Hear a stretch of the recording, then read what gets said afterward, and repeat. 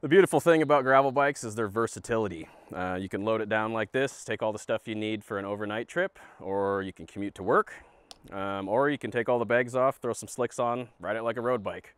These bikes will literally eat rocks and shit diamonds.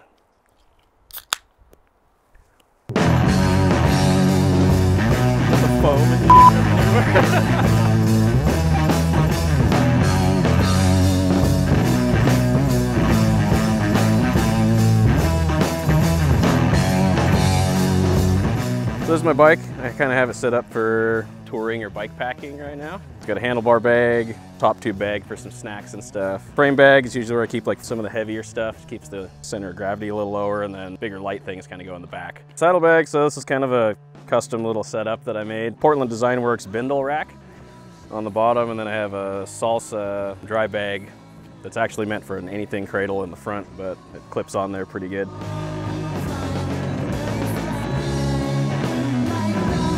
Also run my tires tubeless. Find that it gives it a little better ride quality. You can run lower tire pressures without pinch flatting as well. And then having that liquid sealant in there definitely um, just seals up any punctures that you might have. Lots of good side knobs on the side, but then kind of ramped ones in the middle too, so it stays pretty efficient on pavement. So this is how I would set up my bike for bike packing uh, if I was going to spend the night somewhere, go on a longer trip.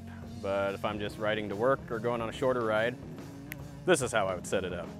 So on a shorter ride or commuting to work, I typically don't need as much storage room for all that kind of stuff. So I just stick with a bar bag. I've got my camera, um, a water filter, snacks and stuff in there, um, and then just a bottle. So that way it's a little quicker, a lot lighter that way. If I don't need all that stuff, why bring it?